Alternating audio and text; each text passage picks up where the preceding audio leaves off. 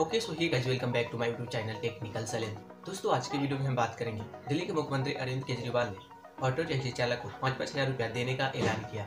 लेकिन कुछ लोग ये जानना चाह रहे हैं 2020 में जब हमारे भारत में लॉकडाउन लगा था, दिल्ली सरकार की तरफ़ से ऑटो टैक्सी चालक को पाँच पाँच हज़ार मिले थे तो क्या उन्हें इस टाइम भी, यानी कि 2021 में फिर से अप्लाई करना होगा? पाँच हज़ार रुपया अपने अकाउंट में लेने के लिए या फिर अप्लाई नहीं करना होगा? काफ़ी लोग ये जानना चाह रहे हैं। तो वीडियो को लास्ट तक देखते रहिए। आज हम यही जानेंगे थोड़ा डिटेल्स में। लेकिन आगे बढ़ने से वाले भाई का भी नाम जान लीजिए। मेरा नाम है सलेंद्र आप देख रहे हैं technical Salendra YouTube channel channel पर नए हैं तो चैनल को सब्सक्राइब कीजिए ताकि आने वाले वीडियो का नोटिफिकेशन आपको सबसे पहले मिले।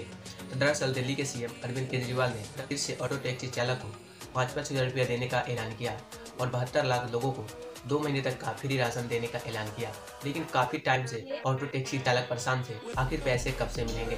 अरविंद केजरीवाल जी ने ट्विटर पे एक ट्वीट किया है और उन्होंने बताया कि लॉकडाउन में उनके अकाउंट में भेज दिए जाएँगे।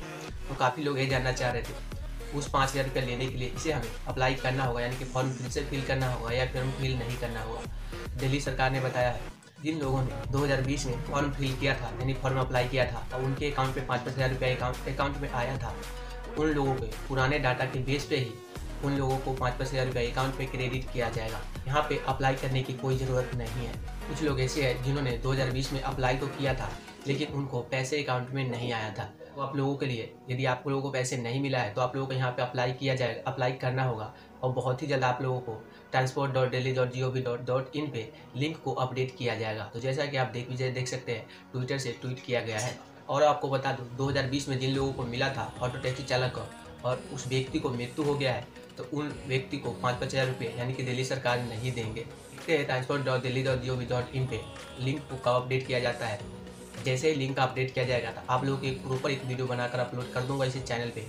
और लोग बिल्कुल आसानी से फिर से आप लोग अप्लाई कर सकते हैं। बस आज के वीडियो बस इतना ही। वीडियो पसंद है लाइक करना, साथ ही साथ टेक्निकल चैनल को सब्सक्राइब करना। दोस्तों, मिलते हैं किसी और नेक्स्ट वीडियो में।